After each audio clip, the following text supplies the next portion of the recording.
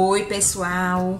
Hoje a receita que eu vou ensinar para vocês é muito especial e assim, eu sou apaixonada por essa receita, que é de bobó de camarão, gente. Gente, tudo com camarão é maravilhoso e bobó de camarão é simplesmente perfeito. E eu vou te ensinar aqui uma receita super fácil de fazer. Você vai ver, gente, se você tinha alguma dificuldade de fazer, agora você não vai ter mais. Você vai fazer sem medo de errar. Então fica aqui comigo e vamos lá começar a receita. Primeira coisa que você vai começar a fazer é bater o empim. Gente, eu já cozinhei esse empim aqui, tá? Na panela de pressão com água. Pronto, aí deixei cozinhar, reservei um pouco da água de cozimento, certo? Pra gente tá batendo aqui no liquidificador, tá?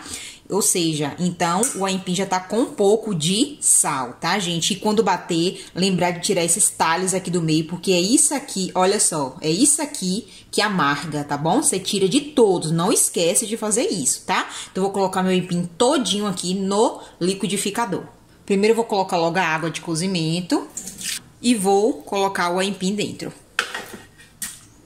Se você tiver multiprocessador, você usa também o multiprocessador.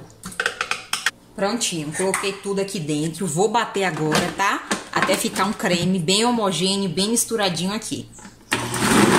Prontinho, gente. Já bati aqui nosso aipim, né? O macaxeira aqui no liquidificador com a própria água do cozimento dele, que já tava com um pouco de sal, tá? Vou deixar isso aqui reservado agora. A gente vai pro fogo agora. Vamos lá. Vamos aqui agora, gente. Vou ligar meu fogo em fogo mínimo.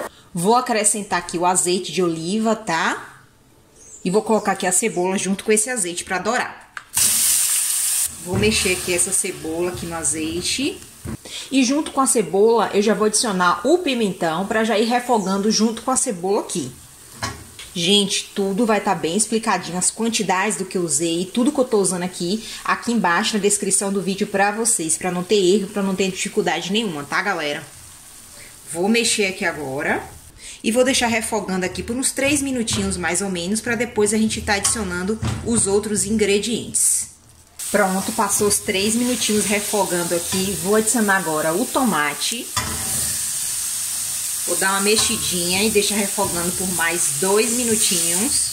Passados dois minutinhos, vou acrescentar o coentro e a cebolinha. Dou uma mexidinha aqui de leve. Adiciono agora também o azeite de dendê aqui dentro. Mexo Gente, se vocês já estiverem gostando da receita de hoje de bobó de camarão, já comenta aqui embaixo o que, é que vocês estão achando. Já deixa o like aqui no vídeo para ajudar, tá, galera? Se não é inscrito, se inscreve e ativa o sininho que aí você não perde nenhum vídeo novo do canal, tá bom? Depois que eu adicionei o azeite de dendê, deixe refogando por um minuto, vou adicionar agora o leite de coco. Mexo bem aqui agora.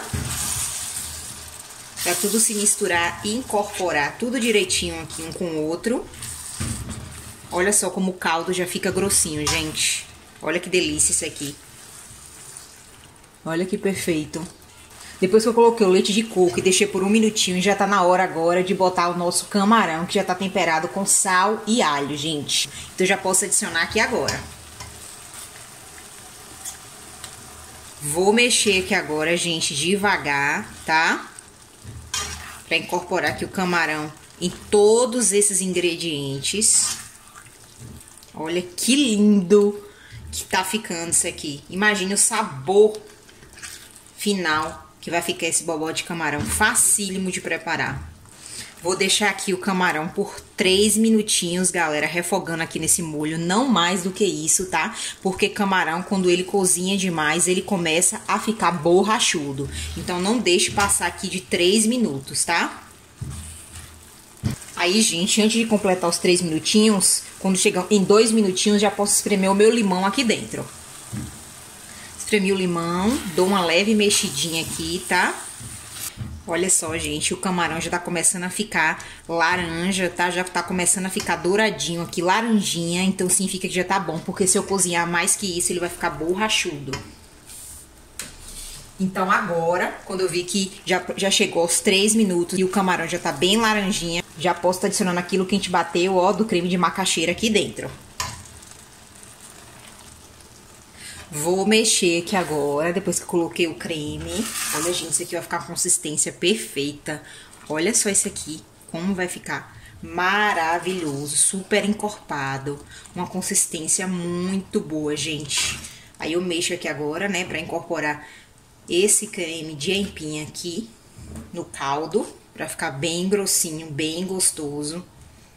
E vou adicionar um pouquinho só desse tempero baiano aqui, tá, gente? Que é totalmente opcional. Se você não quiser colocar mais nada, você não bota. Você só acerta só o sal que estiver precisando, tá? Vou colocar, eu vou colocar um pouquinho só, vou ver como é que ficou. E depois eu vou acertar, acertar um pouquinho de sal. Coloquei aqui o tempero, vou dar uma mexidinha. Se você quiser tá colocando pimenta calabresa ou qualquer outro tipo de tempero aí, do gosto de vocês, pode colocar, tá? Dê aí a cara de vocês aqui nessa comida maravilhosa. Vou adicionar um pouquinho de sal, tá? Pro meu gosto que precisa de mais um pouquinho de sal. Gente, acertei o sal, já tá do jeito que a gente gosta aqui em casa. Vou desligar o fogo agora, tá? E vou colocar no prato, gente, pra vocês verem que maravilha que tá isso aqui. Olha só, olha a cremosidade e a consistência desse bobó de camarão. Perfeito, gente. Que coisa maravilhosa. Sou apaixonada, gente. Tudo que tem camarão, eu sou apaixonada. Pena, né? As pessoas que não podem comer camarão, que tem alergia a camarão. É uma pena, porque isso aqui é muito bom, muito bom. Vou colocar no prato pra vocês verem. Peguei aqui pra mostrar mais de pertinho pra vocês. Olha isso aqui, galera. Olha só o quanto que rendeu. É perfeita essa receita, gente. Eu vou colocar um pouquinho aqui no prato pra vocês verem, tá?